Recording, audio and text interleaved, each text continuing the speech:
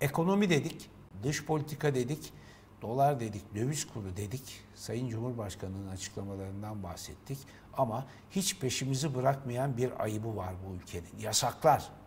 Hani dediler ya yolsuzluk, yoksulluk ve yasaklarla yani 3Y ile mücadele için geliyoruz dediler ya ta 2002 senesinde iktidara gelirken. Ve üçünü de zirvelere taşıdılar. Ama en önemli konu başlıklarından biri de yasaklar. Niye? Çünkü kendileri bir yasağın mağduru olarak kendilerini lanse ederek oy aldılar bu milletten. Dediler ki bizim bacılarımız başlarını örtemiyorlar. Hürce, serbestçe, özgürce başlarını örtemiyorlar.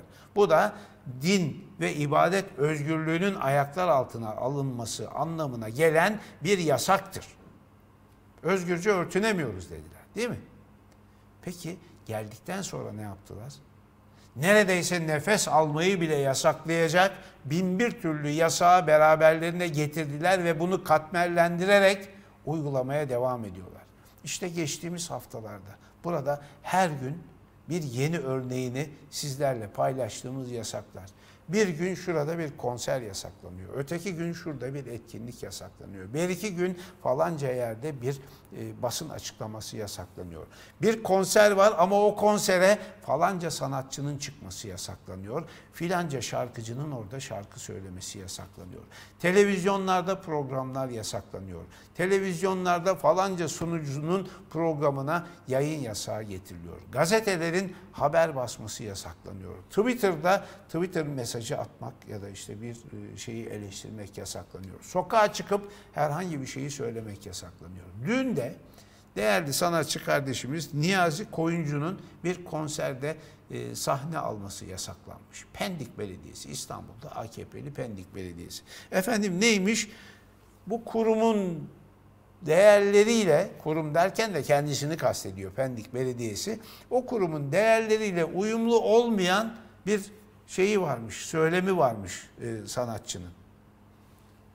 Niyazi Koyuncu. Niyazi Koyuncu kim hatırlarsınız? Rahmetli Kazım Koyuncu'nun kardeşlerinden biri. Kazım Koyuncu da çok genç yaşta 2005 senesinde 33 yaşında hayatını kaybeden, kansere yenik düşen efsane bir sanatçı Karadeniz'de. Karadeniz ezgileriyle e, ünlenmiş bir e, değerli sanatçıydı.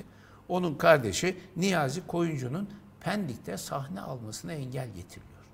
Niyazi Koyuncu da e, dün yaptığı açıklamayla bu yasağı kınadı ve e, bunun işte hani e, pek çağdaş normlarla bağdaşmadığını savunan bir açıklama yaptı. Diyor ki belediye iptal gerekçesi olarak kurumlarının değer yargılarını ve görüşlerini e, paylaşmaya çalışmış, paylaşan, paylaşmayan bir e, müzisyenin Pendik meydanlarında konser yapmasına müsaade edilmeyeceğini sunmuştur.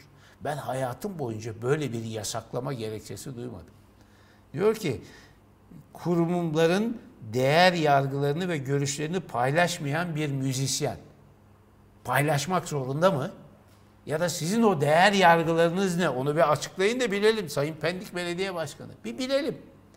Derince'de de Kocaeli Derince'de de Aynur Doğan'ın e, konser vermesini engellemişlerdi. Orada daha da mantıksız bir gerekçe. Efendim e, başvuruyu yapmışlar. Daha izin çıkmadan bilet satmaya başlamışlar. İzin niye çıkmayacak ki?